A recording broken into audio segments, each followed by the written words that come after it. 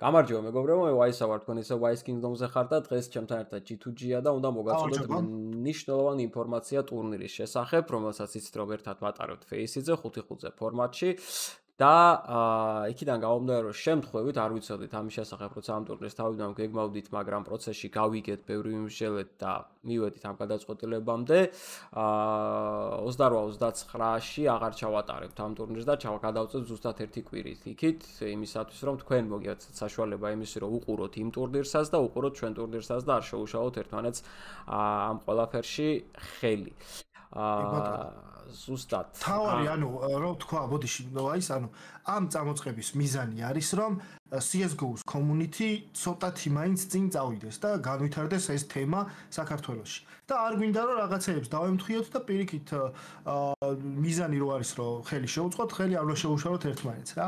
მოკლედ, ეს არის მთავარი მიზანი რა და იმედია რომ გაგებით მოეკიდებით მონაწილეები, მაყურებლები და პირიქით უფრო მეტი შემართებით, უფრო მეტი მომზადებით, შეკარით გუნდები, უკვე 18 გუნდი არის მონაწილე და რა ვიცი, ცოტა ადგილიღა დარჩა მე მგონი რა. პირდაპირ უნდა ვთქვა 64-მდე ხო არ გავზარდოთ.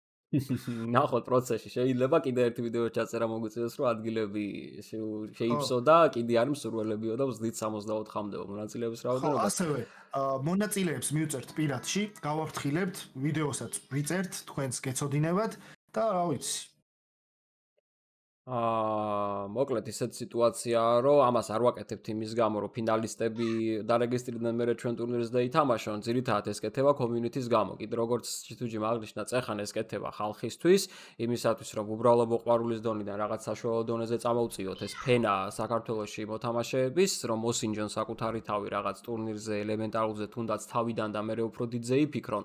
აა შესაბამისად ამის დამთხოვა წლის თავარი მოვლენისთვის არ იქნებოდა ალბათ კარგი და ევროპაბეთი ვერ გადაწევს თავის ტურნირს და ჩვენ შეგვიძლია და ამ გადაწევით თუ იმეს ხელი შეეშალა და ამ შაბათკვირას ეცალა და იქთა შაბათკვირას აღარცალია იმ გუნდებს ბოდიში წინასწარ, მაგრამ ესე იყო ყველასათვის სწორი. ამ გადაწყვეტილებით ყველა მოახერხეს სპორტ სასახლეს შემისვლასაც, იმ ტურნირის ყურებასაც, ამ ტურნირის ყურებასაც და მონაწილეობასაც, ასე რომ ერთმანეთს ხელს არ შეუშლით აუცდებით და მე მგონი ერთი კვირა არ არის დიდი თარიღი და არ დავამთხვიეთ არც სამუშაო დღეებს, ზუსტად ერთი კვირით, ზუსტად შაბათკვირას ჩატარდება ყველაფერი. ხო რას ვიტყვი, ანუ ზუსტად ამასთან დაკავშირებით, რა თქმა უნდა, ჩვენც ვიფიქრეთ ამაზე, მაგალითად ვიდეო დავდე და იქაც ვფიქრობდით რა. ხო და გამომწერებისგანაც მოდიოდა ესეთი თემა, რომ აი იქ რო ფინალია, მე მივდივარ ან მე იმას უნდა ვუყურო და ეხა რა გავაკეთო, როგორ ავირჩიო და რაღაც რა. ხო და ანუ მოდით მეგობრებო, სიტყვაზე ვიდეოს აღწერებში, კომენტარებში უფრო სწორედ თქვენი აზრები გამოთქვით, მაქსიმალურად დაგვიდექით გვერდით, იმიტომ რომ თქვენია ერთად ვაკეთებ ჩათვალეთ ამ თემას რა. ასე რომ აბა თქვენიც ჩვეულებრივი სახალხო ტურნირია და თქვენი აზრები თვალისწინდება. გათვალისწინდა ერთი რაღაცა კიდო, მანამდე დილეი იქნება აუცილებლად სტრიმზე ორწუთიანი, ასე რომ სტრიმ სნაიპს არ ექნება არანაირი აზრი, რაუნდი იქნება მინიმუმ სხვაობა სტრიმსა და უშუალო ტურნირზე ლაივ შორის და ხო, ლაივები იქნება ორივე არხზე.